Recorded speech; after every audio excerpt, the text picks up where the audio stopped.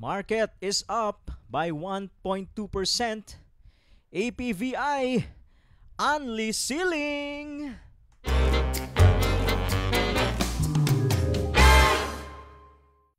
Hello mga titos and titas! Welcome to Tito Vlogs!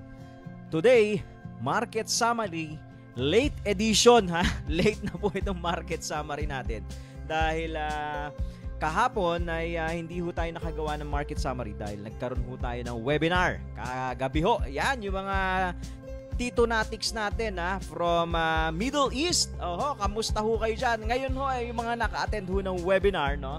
Natin kanina, uh, kahapon at saka kanina uh, na mga Tito Natics natin. Ngayon ho ay sila ho ay uh, certified Tito Natics na. Ayan. Ayos po ba? Ayos po ba ha? Sulit ba? Sulit ba mga titos and titas yung ating uh, webinar? Marami ba kayong uh, napulot na Tito moves ha? Uh, titos and titas. So Sige po, uh, mga titos and titas, no, bago lang po dito sa channel natin, ito pong Tito Vlogs ay channel about the stock market na kung saan ay sineshare po natin yung ating 12 years of experience dito sa stock market, yung mga pains and gains, no? Uh, sa pamamagitan ng mga Tito moves, uh, yung mga hindi ho nababasa sa chart at hindi nyo nakikita, nakikita sa chart, nababasa sa libro. Oh, yan ho yung tinuturo natin dito, sineshare natin dito sa ating TVC. So kung napadaan lang po kayo dito, wag nyo hong kalimutang uh, mag-subscribe, no? At i-click nyo ho yung uh, sana all para po ma-notify kayo every Monday to Friday ay meron ho kaming online tambayan. Oh, yung live stream namin. Uh. Samahan niyo ho kami ha, 9:20 AM to 10 AM every Monday to Friday po 'yan. Okay, so before we start, let's have a short prayer mga titos and titas. Dear Lord, we praise and glorify you for your faithfulness and provision. We ask you to bless us and guide us as we journey towards this chaotic world of the stock market. Amen, amen, amen. Ayun, mga titos and titas, no, gusto ko po munang pasalamatan, syempre, yung mga solid Patreonatics natin. Yung iba dyan ay certified Patreonatics na, no, yung mga umattend po ng webinar, no. Yung mga bago pong uh, nandun sa tambayan natin, ano, uh, mga ba- uh, supporters ng ating TVC, aha, uh, nagbobodega na hanggat maaga, no. Sila Tito Jo, Tito Jonathan, Tita M. Casis, Tito Paul, Tito Densyo, Tito Harold, ha? Tito Albert, Tito Ed Artist, Tito Marco, Tito John Michael, Tita Leia, Tito Nieko, Tita Elaine, Tito Eric Michael and Tito JP. Ayan, salamat po ha. Salamat po sa inyong uh, suporta dito sa ating TVC. Ayos po ba? Ayos naman ano? Ayos naman ano? Yung uh, nakita nyo dyan sa ating uh, tambayan dyan sa patreon.com slash titoblogs. No? So yung uh, mga gustong mag-support po dito sa ating channel ay uh, bisitahin nyo kami dyan sa kabilang kanto yung uh, titoblogs.com ay sorry, titoblogs.com tuloy, patreon.com slash titoblogs. Ayan, silipin nyo kami dyan sa kabilang tambayan. Okay. So, uh, ipasok ho natin ha. Oo, kahit late na ho itong ating market summary, ay, ay nagana pa naman to dahil wala naman trading kanina. Ito pa rin naman 'yon ano. So supposedly uh, ito ay dapat nga nung Friday uh, hindi na ho tayo nakagawa dahil nag-start ho ng 5 uh, PM yung ating webinar no. So ano ang ginawa no? Ano ang ginawa ng market? Uh, marami na namang happy-happy. Ah, mga titos and titas ha. So eto, berdeng-berde no, lahat ho ng sector ay green no. Uh, 1.2% no ang ating uh, inangat. Okay? Uh, meron ho tayong 99 no na gainers and 91 na losers. Okay? So, ang uh, pero net foreign selling pa rin eh. Ito ho, no, yung sinasabi natin. Uh, to the tune of 862 million. Okay? Ah, hindi na maumabot ng bilyon pero tuloy-tuloy pa rin ang foreign selling ng mga titos and titas. Pero up ang market, ha? 'Yun ang maganda ron, 'di ba? Nakita nyo naman nung mga unang uh, naglal- nalalaglag yung market, no? Sinasalo ng foreigns tapos uh, biglang umakyat, ha? So titingnan natin ano lagay mamaya diyan sa chart. Okay, so eto, mga balita ay papasok po natin, no? Eto, stocks and higher as rate cut brings optimism, 'di ba? No, nung uh, binalita ho natin 'to noong Thursday, no, sabi natin positive ang effect ng rate cut no sa ating uh, uh, PSEI eh. Ayan na nga, ayan na nga. So nagkaroon nga tayo ng Bull Friday, no? Oh, nangyari yan, nangyari. So maganda, maganda ang tinakbo ng ating PSEI palagay ko pati sa chart niya titingnan natin mamaya. Ang next po natin na balita, ito, Manila. Manila. Among world's top 40 em- emerging startup ecosystem. O, de good naman yan, ano? Good news yan, di ba? So, nasa top 40 tayo, ha? Hindi yan yung top 40, 40 billboards, ha? Meron pa ba nun? Meron pa ba nun yung mga tito natics natin na kaidaran ko? May top 40 billboards ba ba? Hmm? Ah... Uh, ito ho, no, Manila rank among the world's uh, top 40 e- emerging startup ecosystem.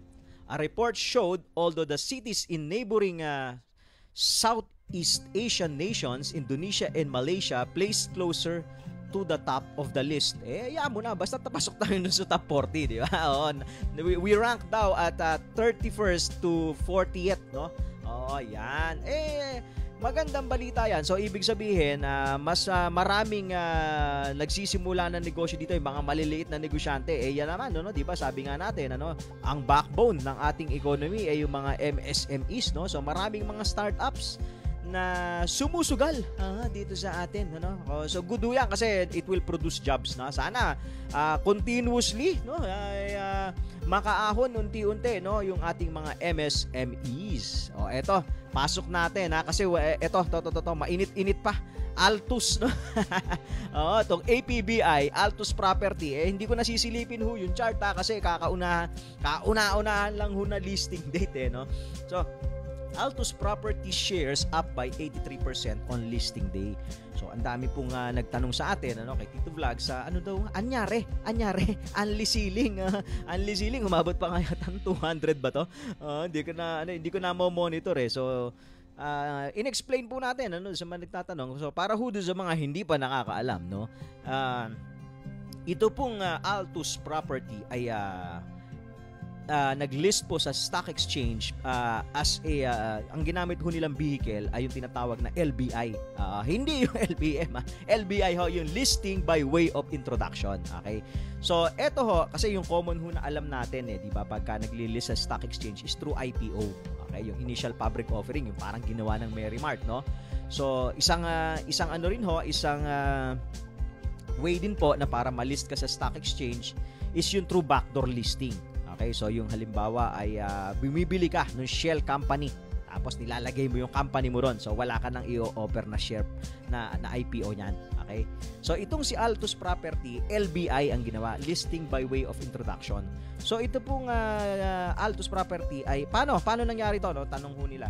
Ito hong uh, Altus Property ay property dividend ng Robinson's Land. Ayan, ah, yan, yan, yan. So, uh, so eto sabi niya, shares of uh, Bali, parang ang balak daw ho dito ng uh, Robinson's Land ay uh, gawing uh, REIT, no? Potential REIT, yung Real Estate Investment Trust. Okay?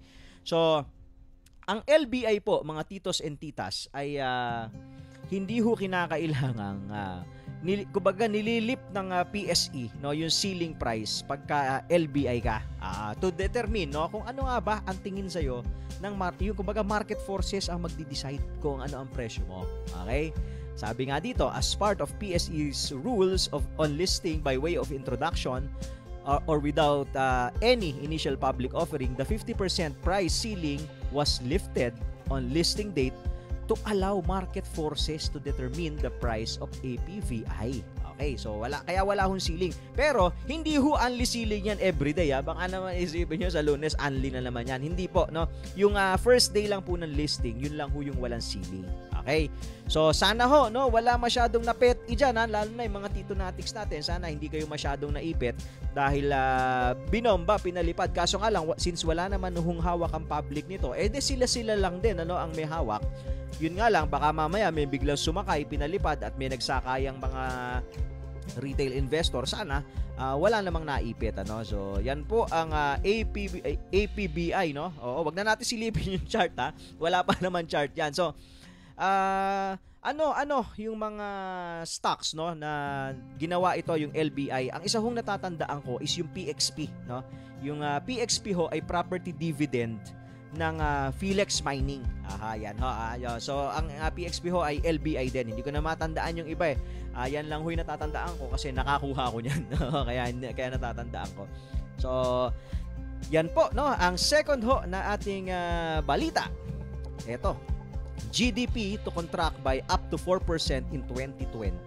Okay, so hindi kagandahan balita. So sabi ni Finance Secretary Carlos Dominguez, no, sabi niya sa Bloomberg, uh, uh, it helped that the Duterte administration had earlier uh, earlier earlier on embarked on comprehensive tax reform program that raised revenues while the government remained prudent in its borrowing, giving the Philippines uh, fiscal space to fight the health and socio-economic crisis caused by COVID.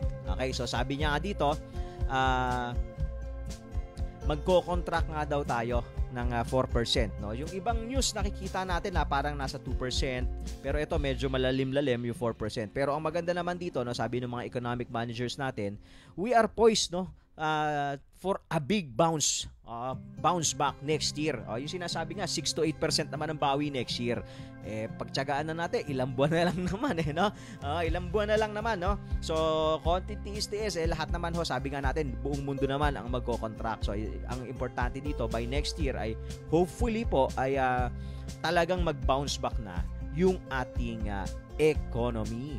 Okay, so punta po tayo sa ating mga sisiliping charts. So, kasama ho yung uh, ba sisilipin natin ngayon? Uh, yung uh, tech dito tsaka yung bull.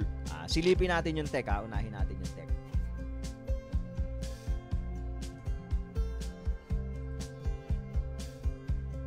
Okay. Ito pong tech ay uh, nag-close nung uh, Friday ng uh, hin- sa hindi kagandahan presyo. Uh, natin yan. Sa hindi kagandahan presyo nung Friday eh, medyo parang nagkatakutan eh. So, ano ba closing? Eh, ito, ito, ito.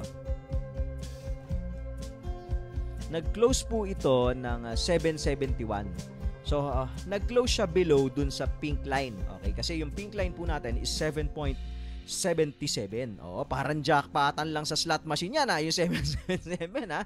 Oo. So, na, um, ganito po yan, ano, mga titos and titas. Siyempre, yung mga uh, holders po na, na, na nag-observe nitong uh, tech, oo, yung mga tech talkers no, na tinatawag, eh yung iba baka na, shake out no dahil nga nag-close below ng uh, pink line yung 200 MA which is a very crucial support.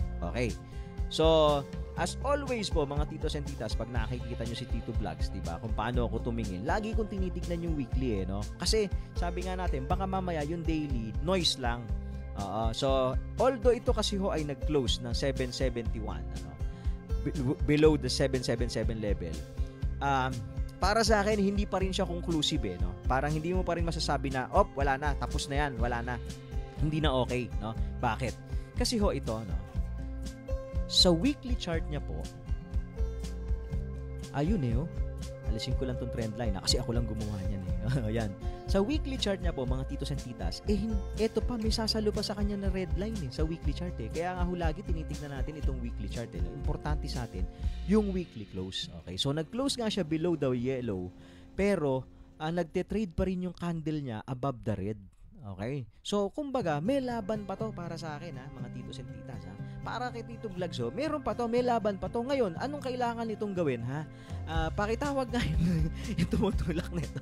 Uh, pakita nito. Uh, ito ang kailangan gawin nito next week, ha? Kailangan ay next week ay mag, wag na siyang magte-trade no below the 200 MA. Kasi for example ha, mag-open ito at mag-trade below yung whole candle niya. Monday, lunes na lunes, eh baka mamaya eh makakonsumi tayo lahat ano. Lunes na lunes mag-trade ho ito ng uh, ng ano, ng uh, below dito. 'Yon, medyo pangit ano. Pag nag-close ho yung buong body ng yung buong candle niya, no. Nag-trade at nag-close below 200 MA sa Monday. So pangit na ho tayo diyan. Okay? So medyo magdidelikading tayo diyan pagka yan ang ginawa. Ngayon, ah uh, malamang maitatouch ho ito tung uh, 731 level no yung, yung yung red line sa weekly okay so yan ho ang mag-aak muna as support okay so kung uh, medyo atapang atao ho kayo at uh, may, naniniwala kayo dito kay Tech, ay antayin niyo muna. Pwede ka pwede kayo magantay kung mabe-break nga yung 731, di ba? Ngayon, kung hindi naman, eh, na-shake out na. Kung halimbawa, Monday pa lang, nag-trade na to below dito, eh, de, po pwede na kayo mag, uh, mag-sell no, sa kahit sa closing pag nag-trade below. Okay, so anong kailangan mangyari sana next week? Sana next week iangat na. Dito na mag-trade. Okay, so ibig sabihin, pagka ganun ho ang ginawa nito by next week, Ibig sabihin, ito ho ay final shakeout maaari. Di ba? Maaaring shakeout lang ho yan. Oo, kasi ginawa niya na nung Thursday eh. Nung Friday, tinuluyan. Okay, so may ugali rin naman ho kasi ito eh. Oh. Kung titignan ninyo. Oh. Ayan oh, nag, bumitin din doon sa blue line eh. Oh. Parang kumawala rin. So parang nag-final shakeout din siya dito sa, sa blue line. All of a sudden, inahon din. So may konting ugali ah. May konting ugali ito. So yun po ang inyong babantayan, ano, mga tech talkers, ha, kung uh, aangatin na ho ito sa Monday. Okay. Silipin natin yung pinapasilip ng ating uh, Patreonatics. Silipin daw itong bull. Aba, aba. Natin napapansin ha. Malapit na pala dito sa sa 200 MA ito ano. Uh, oh, may uptrend na ho siya. Yun nga lang, syempre, pag lumalapit sa 200 MA, uh, major resistance, no, approaching major resistance, very, very steep din yung uptrend niya. So, titingnan niyo po, no, kung uh, kayang biyakin yan, yung 200 MA na yan. So, pag biniyak yan, nasan tayo pupulutin? Dito na po, pwede na tayo dito. 105. Aba, malayo-layo rin ang sipa, no? 105 o 102. Oh, abab, abab ano na tayo? Abab piso na tayo pupulutin after that, ha? Oh, yan na ho yung uh, next resistance. As always, yung support po, unahin mo na tong channel, ha? Hmm, pag gumawa ho kayo, yan, pag lumagpas ho dyan sa channel, susunod itong yellow line. Okay, so yan ho ang support na itong bull. Tignan natin sa weekly, ha? Formado ba sa weekly? Ayun, nagte-trade na rin above the yellow and the red line sa weekly. So, pa-cross na. Ah, hindi, nag-cross na nga. No? Nag-cross na nga yung line, yung yellow sa red. Okay, so bullish na ho yan, no? So titignan natin, mukhang uh, maganda-ganda na yung forma nito dahil nasa taas na nga, no? Nag-cross na nga ho ito. So ang uh, next resistance is the blue line. So mag this will coincide probably do sa pink line eh, no? So aantayin ho yang ma-break and then uh, doon na diretso na tayo road to 1 peso. Ayos. And then finally, no? Eto si mga dito natics natin, abay syempre naman ano, eh kayo pa ba? Kayo pa ba ang mawala ng update, no? Importante yung weekly update natin, ha, mga titos and titas. Okay. So nakita nyo naman ano, uh, noong Thursday ay nagkagulatan, no? Uh, dahil nga down down din ang Dow Jones no nung uh, Wednesday night. So Thursday ay nagkagulatan, nagdown ng uh, 40 4.44 no percent malalim-lalim. Mm-hmm. Pero hindi pa naman tinatouch itong uh, 200. So actually ito ho ang unang support eh, itong 200 eh. Ayan, oh, hanggat nagte-trade ho tayo dyan, ay uh, maganda-ganda pa tayo. Ngayon, by next week, kung uh, ganito rin ho ang gagawing na uh, trade ho nito, aangat na ho itong yellow. Kasi mabilis ho yan, aangat. So yan na ho yung mauunang support ulit niya. Okay, so aantayin nyo uh, kung didikit ulit yung candle dyan. Kung hindi pa nga ba hatawin to next week, no? Kung uh, aantayin pa ba yan bago itatouch. So pwedeng mag-consolidate. Saan pwedeng mag-consolidate? Ito ho ah. Asa na ba yan? Asa na ba yan? Lagyan natin na rectangle. Ayan. Pwede rito yan. Pwede na ba tayo mag-consolidate dyan? Ha? O, yan yan. Level na yan. Pwede na ba tayo dyan? Baka naman masyado mahaba. Madaliin na naman. Iksian na nga natin. Iiksian ko na nga. Uh, pwede ba tayo mag-dribble-dribble dyan? Kung hindi kayo nagmamadali, ha? Dribble-dribble, aantayin natin tong yellow na matouch na pumasok dyan sa box. Ha? Papapasukin ba natin yan? Oo, dribble-dribble lang muna tayo. So, yun po, no? So, abangan nyo po, no? Yung mga Patreonatics natin na mukhang po pwede na tayong mag 3.0 dito. Yun, yung dito 3.0 na playbook, ha? Mga Patreonatics. Abangan nyo ho. Uh, hopefully, tomorrow ay uh, makagawa tayo ng 3.0 dito. Mukhang po pwede na. Oo, so, yung mga gustong magbudega, magdagdag sa bodega, ay abangan nyo ho dyan sa patreon.com slash Tito Vlogs. Okay? So ngayon sa weekly, pinaka-importante po sa lahat, yung weekly close. Uh, natatandaan ko nung nasa live tayo ay uh, pinakiusapan ko to eh. Oo, sabi ko, uh, po, pwede ba na mag-close ka sa 365 po? Pwede na ako yan, 365. Aba, isinakto pa, no? Talaga nga naman, ano? Bakit ko gustong mag-close ng 365 sa weekly, no? Kasi uh, importante yun eh, na mag-close ho above the blue line. Okay? So ayan ho, no?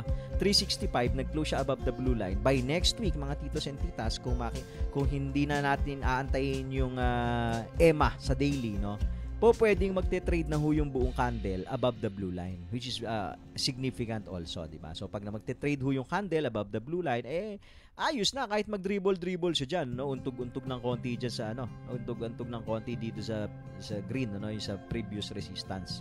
While waiting naman sa na weekly na mag-cross naman itong uh, yellow sa pink line. O, pag nag-dribble-dribble lang matagal yan, eh matagal yan pag aantayin ho ito, pag aantayin ho itong yellow mag-cross sa pink, matagal ho kasi weekly to eh. Mga ilang linggo yan magdi-dribble-dribble dito kung gagawin yan ha. Eh kung nagmamadali ho yan, eh sa daily pa lang makikita nyo hahatawin na katulad ng dinawa dati. Nasaan yung rectangle ko? Nawala. Ah, diba? Yan, yan, yan. Eh, baka mamaya ganyan lang kaiksi yan. Eh, nakikisakay lang naman ho tayo kaya uh, ayos lang, ayos lang. Meron ho akong ginawa dito ang RSI eh. Asan ba yung RSI? Ito, ginamitan na natin ng RSI. Sabi ko nga ho, bihira tayo gumagamit ng RSI pero sa pagkakataong ito dahil nga medyo lumilipad na, kailangan na natin gamitin yung RSI. Ito ho, nakita natin ano, yung uh, trend line ng RSI, nag-bounce ito ho, no? Nag-bounce na naman ho siya dun sa blue. Near blue, paakyat na naman. Kumakambyo na naman. Okay, so will that mean na aangat na naman ho ito? Pag umangat yan, syempre aangat yung presyo, di ba? Ganun naman ho yung ating ano, yung, yung sumusunod lang yan. Pag umangat yung presyo, aangat naman ho itong RSI. Okay, so Diyan ba o magdi-dribble-dribble ka? Medyo mabagal lang yung angat. Okay, so antabayanan po. Exciting week next week mga titos and titas ha. So, paano? Eh, yan po muna ha. Oho, yan po muna mga titos and titas ha. Salamat po muli no dun sa mga nag-attend po ng ating webinar last Friday and yung kanina po no sa sana ho marami ho kayong naibaon no napulot na Tito Moves yan sa webinar natin ha sulit ba oh paki-comment nga ho dun sa uh, comment section natin ha kung sulit yung, yung comment nyo nga sulit ang webinar oh kung nasul, nasulit nyo nga ho oh. So, mga titos and titas, no, as always, as always, no, thank you very much po for watching. Have a great weekend, no? Tomorrow, Sunday, wag niyo hong kalimutang magpasalamat nando sa taas, ha, mga titos and titas, ha? So, see you again on Monday para sa ating market, as uh, sa ating PSE Opening Bell Live. Salamat po and God bless you all. Bye!